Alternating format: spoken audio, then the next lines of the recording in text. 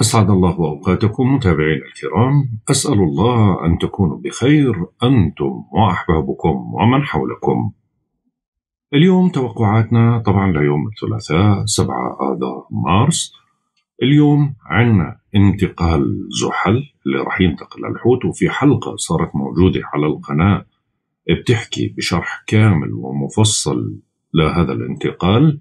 وتأثيراته على الجميع. وأيضا اليوم عندنا اكتمال القمر بدر وهو دلالة منتصف شعبان اللي طبعا برضو في على القناة تقدر تعمل بحث دعاء منتصف شعبان آه، بصوت سعيد مناع بتلاقيه موجود وطريقة استخدامه أو طريقة تلايته والدعاء وشو القراءة والوقت المناسب لإلها.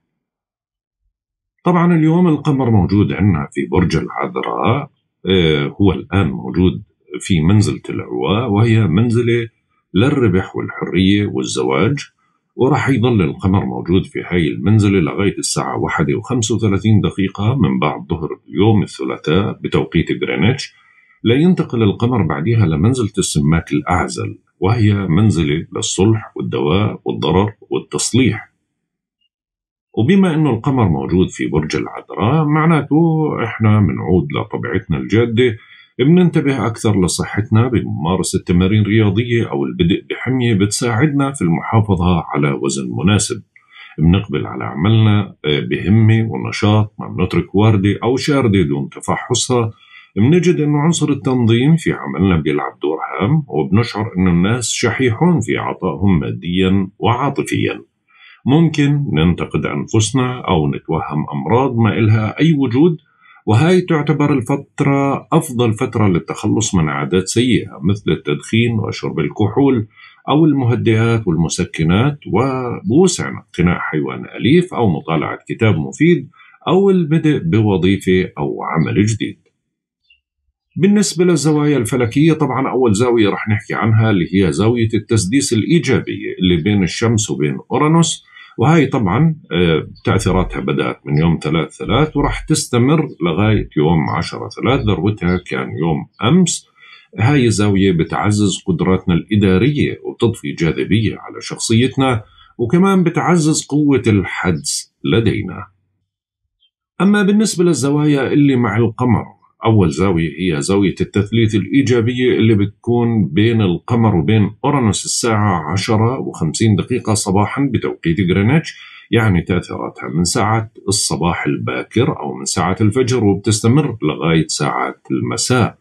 هاي الزاوية بتعزز قدرتنا على استغلال المناسبات الاجتماعية والاستفادة منها وممكن يفاجئنا البعض بشيء غير متوقع وممكن يصدر منا ما هو غير متوقع تجاه البعض كذلك. أما بالنسبة للزاوية التي تليها وهي زاوية التقابل السلبية اللي بين القمر وبين الشمس وهاي الزاوية بما أنه تقابل يعني اكتمال القمر بدر وهاي الاكتمال راح يكون الساعة 12 و40 دقيقة بعد الظهر بتوقيت غرينتش. هذا الاتصال بيخلق لدينا حالة من عدم الاستقرار تتمثل بصراع بين المشاعر والأفكار مما ينعكس سلبا على علاقاتنا مع الآخرين. وبما أنه القمر راح يكون بدر ومنتصف شهر شعبان معناته في دعاء منتصف شهر شعبان موجود على القناة راح أحاول أحط لكم الرابط في أعلى الحلقة الآن في الأعلى بظهر. هذا الدعاء بطريقته مقروء مسموع وأيضا كيف طريقة الدعاء أو كيف لفظ الدعاء ومتى يفضل قراءته كله موجود في الحلقة. بالنسبة لانتقال زحل راح يصير في فترة هذا اليوم اللي هو بعد الاكتمال تقريبا راح ينتقل كوكب زحل لبرج الدلو الساعة واحدة وأربعة وثلاثين دقيقة بعد الظهر بتوقيت غرينتش راح ينتقل من برج الدلو لبرج الحوت. طبعا آه، هو راح يظل موجود في برج الحوت آه، حتى لو تراجع يعني حتى لو دخل للحمر راح يرجع للحوت ويكمل ولكن خروجه النهائي راح يكون يوم 14 2 2026 موجود آه، الحلقة بالتفصيل صارت موجودة على القناة. آه، بالنسبة لحركة التراجع لكوكب زحل اللي راح تصير هذا العام اللي هو 2023 راح تكون مساء يوم 17 6 2023 وراح يستمر التراجع حتى صباح يوم 4 11 2023 أما بالنسبة للزاوية التي تليها وهي زاوية تربيع سلبية بين القمر وبين المريخ وهي راح تكون الساعة 11 و5 دقائق مساء بتوقيت غرينتش. يعني تأثيراتها بتبدأ من ساعات العصر تقريبا وبتستمر لغاية صباح اليوم التالي اللي هو صباح يوم الأربعاء. بيخلق لدينا آه هذا الاتصال شعور بالملل من أي عمل روتيني. فبنكون بحاجة للهدوء والتحلي بالصبر في أي مسعى بنقوم فيه. يفضل أخذ فترة من الراحة لاستعادة نشاطنا من جديد واللي بيكونوا محبطين عاطفيا أي كلمة أو تصرف ممكن يثوروا ثورة عارمة من الغضب لأقل الأسباب. بالنسبة للأعضاء اللي في جسمنا الأكثر حساسية خلال هذا اليوم واللي لازم نوفر لها العناية الإضافية عندنا البنكرياس الأمعاء الدقيقة الأعور القولون الجهاز الهضمي الاثنى عشر المستقيم أجهزة الإحساس مثل العيون والأذنين بالنسبة للعمليات الجراحية طبعا إذا ما كانت اضطرارية جدا يفضل تأجيلها لأنه القمر بدر يعني ميوعة بالدم وما يعني ممكن يصير بعض المشاكل اللي لها علاقة بالدم نزف الدم والأمور هاي وخصوصا الأشخاص اللي بيأخذوا مميعات دم. هذا اليوم مناسب لعمليات التجميل مثل الحقن ولكن مش الجراحة.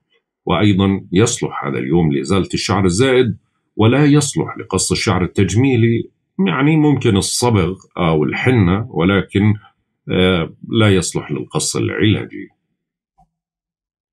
بما أنه القمر راح يكون موجود في برج العذراء معناته خلو المسار القادم راح يكون يوم الأربعاء 8 3 بيبدأ خلو المسار الساعة 2 و6 دقائق عصرا بتوقيت غرينتش.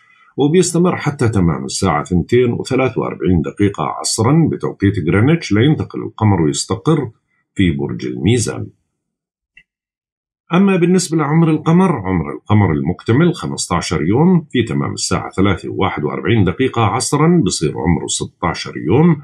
نسبة الإضاءة 100% أما بالنسبة لمزاج الكواكب وطباع الكواكب لهذا اليوم الشمس في الحوت حتى يوم 20 ثلاثة منتحس اليوم بنسبة 25%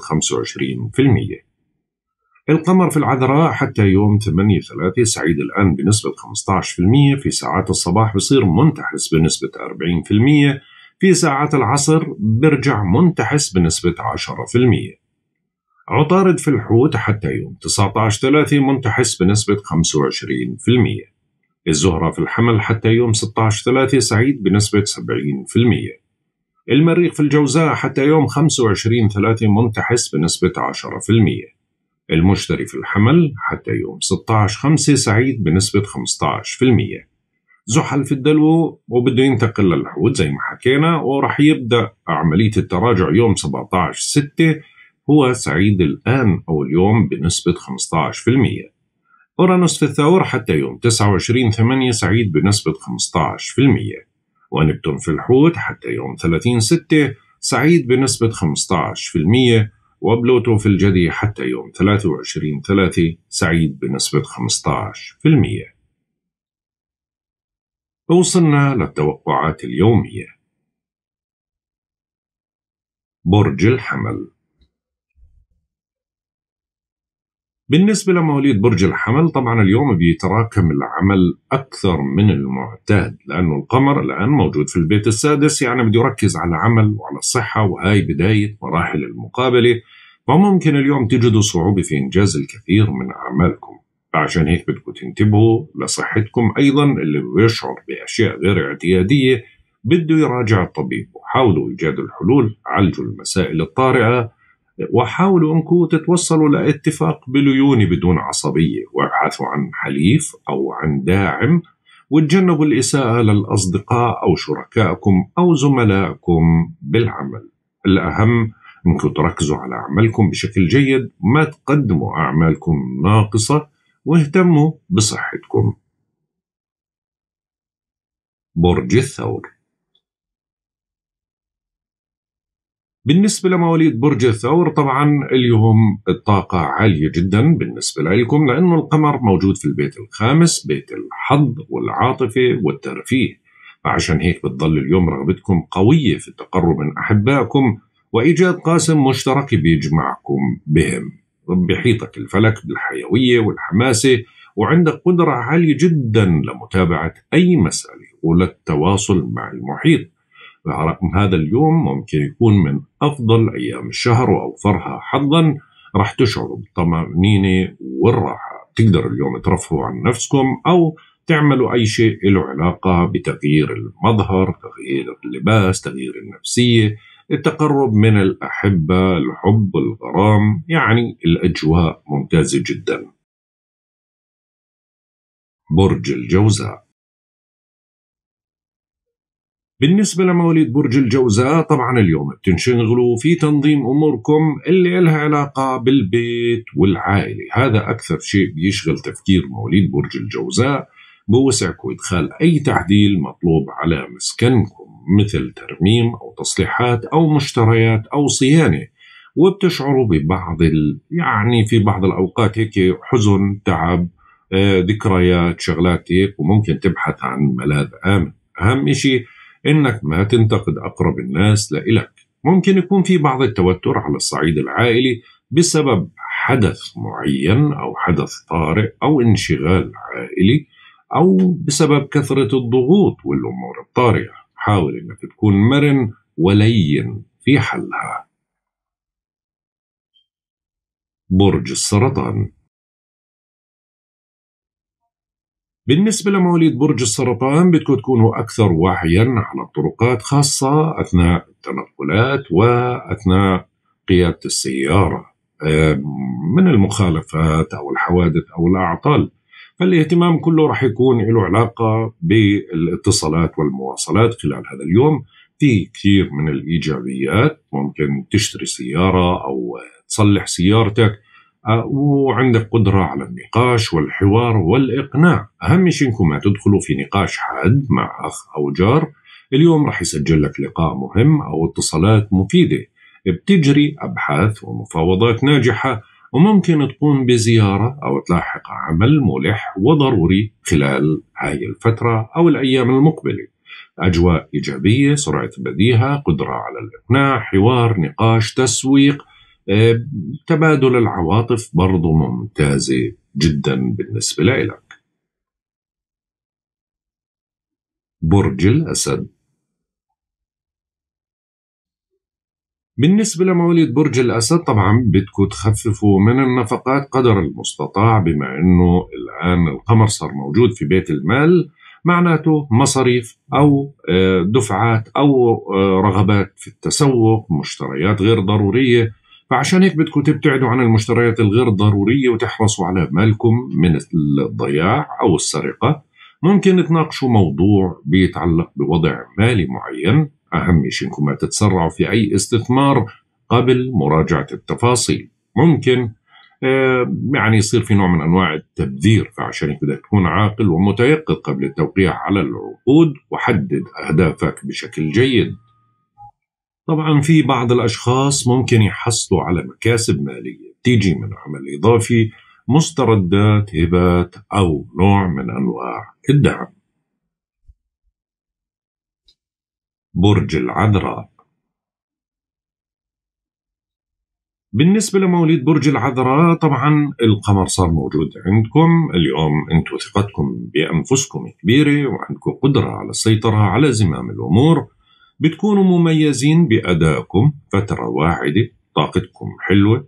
آه، في نوع من أنواع الاتفاق على تسوية أو انطلاقة أو مرحلة جديدة. ممكن تطرح أفكارك بشكل جيد أو تجتهد على إنجاح مشروع جديد. في حماسة وضوح بالأفكار. آه، حيويتك رائعة جدا. حتى راح تكون ملفت للانتباه بالنسبة للجنس الآخر. فعشان هيك حاول قدر الإمكان تشحن حالك بطاقة إيجابية عالية. صحيح أنه الشمس وجودها مقابلك تضعف من طاقتك ولكن اليوم القمر راح يعزز هاي الطاقة درجة زيادة. برج الميزان بالنسبة لمواليد برج الميزان طبعا اليوم مش من أيام السعد بالنسبة لكم لأنه القمر موجود في بيت المتاعب في العذراء. فعشان هيك هذا اليوم بيتطلب منكم الانتباه بشكل جيد لصحتكم. بدكم تتحملوا هذا اليوم وتصبروا لبكرة لحديث ما القمر يوصل لعندكم. فعشان هيك يا أغلب مواليد برج الميزان بيشعروا بالتعب أو تقلب المزاج أو الحساسية وممكن يفكروا في إلغاء المواعيد أو الابتعاد عن الأضواء. حاول أنك تحمي نفسك من المحتالين ومن العصبية ومن المواجهات وإصدار القرارات الحاسمة. راح تلاحظ أنه اليوم بتهدأ الوتيرة عندك وبتتراجع الأرباح والحيوية. هي إجمالا تعتبر فترة وجود القمر في بيت المتاعب فترة محبطة جدا ومخيبة للآمال. برج العقرب. بالنسبة لمواليد برج العقرب طبعا اليوم بتنشطوا اجتماعيا وبتلتقوا الأصدقاء. اليوم كل الفائدة رح تكون على الوضع الاجتماعي وعلى لقاء الأصدقاء ومعارفكم. منكم أشخاص ممكن يشاركوا في حفلة أو مناسبة سعيدة. أهم شيء أنه ما تبقوا وحيدين بل سارعوا للمشاركة وحاولوا أنكم تلعبوا دور بناء في محيطكم ومجتمعكم. بتتمتعوا بحضور لافت وشعبية واسعة الرؤية بتكون واضحة. أهم إشي إنه يعني ما ما بيجوز إنكم تترددوا باتخاذ القرارات. أهم إشي إنه ما تفرضوا سلطتكم على أصدقائكم وما تكونوا حساسين زيادة لأي كلمة أو موقف ممكن أحد الأصدقاء يقوم فيه. حاول قدر الإمكان تستمتع بيومك مع أصدقائك. برج القوس. بالنسبة لمواليد برج القوس طبعا اليوم بوسعكم المحافظة على سمعتكم وإنجازاتكم القائمة في مجال العمل. ويعتبر هذا يوم مناسب للأشخاص اللي بيبحثوا عن عمل. برضو اليوم ما تجازفوا بسمعتكم لأن القمر في بيت السمعة ولا حتى باستقرار وظيفتك إنك تعمل مشاكل وتدخل بمشاحنات أو مواجهات ما بينك وبين رئيسك بالعمل. عشان هيك حاول إنك اليوم تبعد عن أي مخالفة للقوانين أو للعادات والتقاليد. ما في داعي للمغامرات والمجازفات عشان تحافظ على سمعتك. حاول تجتهد أكثر بعملك لأنه ممكن تحصل على ترفيع أو رضا المسؤولين عنك. أهم شيء أنك تتجنب التصرفات الارتجالية. ركز بشكل جيد على عمل واحد قبل الانتقال لآخر. نظم أعمالك عشان تقدر تنجزها بالكامل. برج الجدي. بالنسبة لمواليد برج الجدي طبعا اليوم بتنشطوا بالتنقلات بالسفريات بالاتصالات بالتعامل مع الأجانب بالامتحانات الجامعية. اليوم مميز جدا بالنسبة لكم أهم شيء أنكم تكونوا أكثر وعيا على الطرقات خاصة أثناء قيادة السيارة بين المدن. عندك اندفاع عندك حماسة أو هدول الأمرين رح يتركوا أجمل الانطباعات عنك بسبب حيويتك وطاقتك العالية جدا. إن كان بحوارك بنقاشك بمنطقك فلسفتك يعني عندك قدرة حلوة جدا. بتطمئن خواطرك اليوم بتختفي هواجسك تعتبر فترة إيجابية جدا أهم شيء أنك ما تضيع عليك الفرص الإيجابية. انطلق بحوار ونقاش واتصالات. وممكن يجي خبر من خارج البلاد من أحد الأصدقاء أو المعارف أو حتى ممكن اللي عنده امتحان جامعي أو مقابلة اليوم ينجزها بشكل جيد. برج الدلو بالنسبة لمواليد برج الدلو طبعا القمر في البيت الثامن يعني راح يركز على الأموال المشتركة فبدكم تتفحصوا حسابات مالية مشتركة اليوم. حاولوا انكم تخففوا من النفقات صحتكم أو صحة قريب لإلكم بتكون بحاجة لرعاية بدكم تكونوا مرنين وما تتنازلوا عن حقكم بشرط الامتناع عن فرض الرأي أو التسلط. ابحثوا عن الحلول اللي بترضي مختلف الأطراف وما تهملوا لا ملف ولا قضية. ممكن بعضكم يهتم بأمور إلها علاقة بتأمين ببنك بقرض بأمور مالية مطالبات بالحقوق أو حتى ميراث. ولكن أهم شيء إنه اليوم لا تكفل حد ولا تضمن حد لأنه إذا بدي حد فلوس اليوم أو تكفل حد اعرف إنه راح يخذلك وإنت راح تتورط في هاي المسائل. برضو ابتنع عن أي أمور لها علاقة بالمغامرات المالية. برج الحوت. بالنسبة لمواليد برج الحوت طبعا القمر الآن موجود مقابلكم تماما. فعشان هيك بتتركز جهودكم حول البحث عن قاسم مشترك بيجمعكم بشركائكم سواء بالعمل أو العاطفة. أهم شيء إنكم تكونوا أكثر تفهما لوجهة نظرهم. نسقوا بين مختلف الواجبات. حافظوا على هدوءكم الكامل. لأنه اليوم زي ما حكينا هو جيد. تتعاون مع الزوج الزوجة تتحاوروا وتتناقشوا لكن بدون عصبية وعواصف. حاول تكون مرن هدوء تام لأنه أنت طاقتك ضعيفة اليوم. أي مواجهة أو أي مشكلة أنت راح تكون الحلقة الأضعف وراح أنت تكون الخاسر لأنه الخصم أقوى منك بهاي الفترة. فبدك تحافظ على هدوءك ما تعصب ما تنفعل ما تتخذ قرارات. كون مرن أجل الأمور لحديث ما توصل ل آه، يعني القمر يوصل لبيت مساعد لإلك أو يكون قوي لإلك برضو اليوم في فرص للارتباط أو حتى أمور لها علاقة بالوضع العاطفي. هيك بنكون انتهينا من توقعاتنا لهذا اليوم. والله أعلم يا رضا الله ورضا الوالدين سبحانك اللهم وبحمدك أشهد أن لا إله إلا أنت أستغفرك وأتوب إليك. أترككم في رعاية الله وحفظه. إلى اللقاء.